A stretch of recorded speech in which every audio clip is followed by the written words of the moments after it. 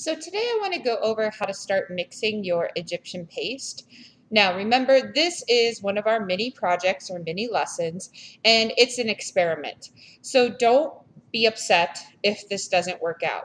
From most of the information you've seen so far in either the articles you've read or in the video you watched, you can see that it's a very difficult material to work with and it's not uncommon for things not to work out the way they're supposed to. The first thing is, is that you need to make sure that you're wearing a mask because we are dealing with dry powders. That dry powder is harmful if you breathe that in and it can settle into your lungs. So it's really important that you have your mask on when you're doing this.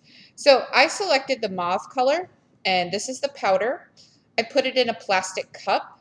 Plastic cups are a community item, so we want to make sure that you wash and or sanitize your hands uh, prior to getting it out of the cabinet. And then, of course, I just poured some of it in there. So I'm not starting with um, a very exact amount. I just kind of filled this cup. Then I have another cup with some water. And I'm just going to pour a little bit of the water in. And I'm going to use this popsicle stick here to kind of start getting that water to mush into the clay.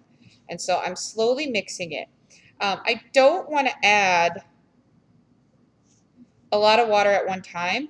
I want to go nice and slow.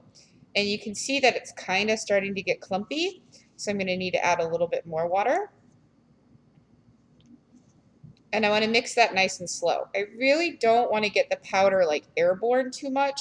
It will happen a little bit, um, but the the more we can keep that powder from being in the air, the healthier it is for us. But you're wearing a mask, so that should help you from breathing that in.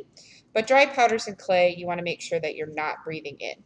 I did put a piece of newspaper down while I'm working with the powder form of the clay, simply because I want to be able to um, put those powders into the garbage once I'm finished. Now it's going to start to get a little bit gooey and I can see, hey, this is getting a little thick.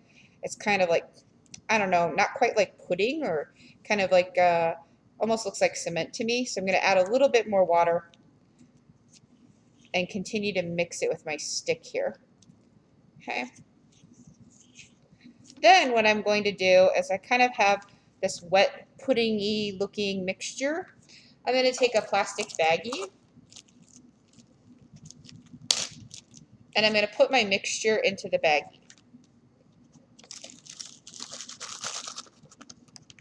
So most of that came out of the cup just fine. Or I can come back around with my popsicle stick and just kind of finish collecting the rest of it. So I get as much of my mixture in there. Now you're not making a large amount of this, so don't worry if you're like, oh, I don't have very much. These are going to be very small items. So I'm just going to close the Ziploc baggie and I'm going to kind of squish in the bag so that I can make sure that that powder is mixed really well with the water. Now right now, the consistency of this clay is probably more like slip, so it's real goopy. And so it's going to take a little bit to get it to usable. And so I'm just trying to make sure that the powder is properly mixed in with the water. And like I said, I just put a little bit of water in at a time. I want to keep mixing this. Okay. So I feel like it's pretty much the same consistency now. I'm not feeling necessarily a lot of lumps in it, uh, which is what I wanted. Okay, so I'm going to move my newspaper because I'm not working with any more powder at this point.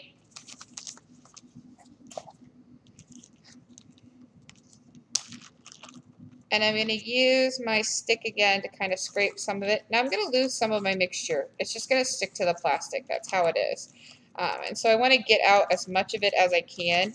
So I'm using that popsicle stick to just kind of shave it off the side, so to speak, or smush it off the side, get it down to the bottom. And then I'm going to dump it onto the canvas. Okay. Now remember, this is real wet and mushy. And it's basically, like I said, in that slip form. So I'm going to lay it out on the table. I'm going to try to get as much of my mixture out of the bag. So I'm just kind of smushing the bag together, squeezing it, getting that stuff to come out. And like I said, I'm gonna I'm gonna get rid of some of my mixture simply because I'm not gonna be able to get it all out of the bag. Okay. Then I use my stick and I'm gonna spread it out.